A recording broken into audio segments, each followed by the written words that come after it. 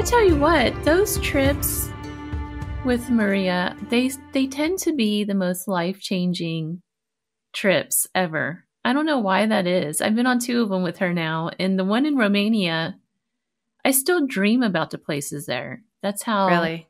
Yeah, it's like I left a piece of me in Romania somewhere. And this Germany trip, it wasn't so much the places.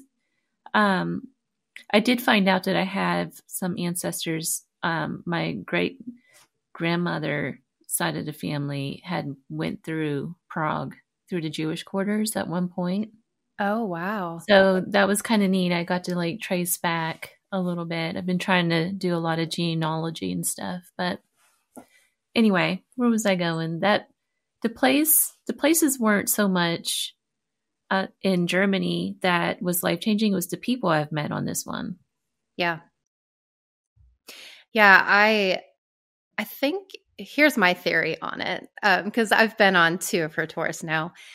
And I think it's the type of people that her tours bring in, right? Because it's people that are, I feel like, are on this journey, on a similar journey. It's like similar interest, and everybody kind of has their own own interests and strengths and things like that. But Mhm. we're all interested in the same thing, which is like exploring the world in a different perspective, right? Like kind of lifting that veil um, and seeing beyond what just normal things are going on, right? Right.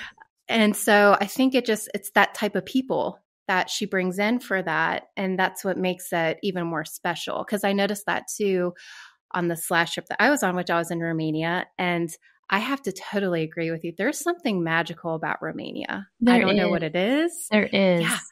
It's it's incredible. Like it it just was surprising to me because I, I was going in for work. Like I was helping, you know, lead the tour.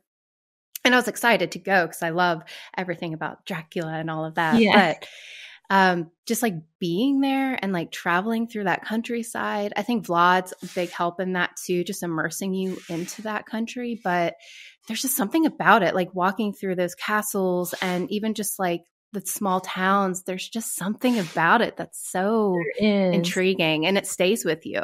hmm It definitely stayed with me. I have dreams about that place. I'm going to have to go back.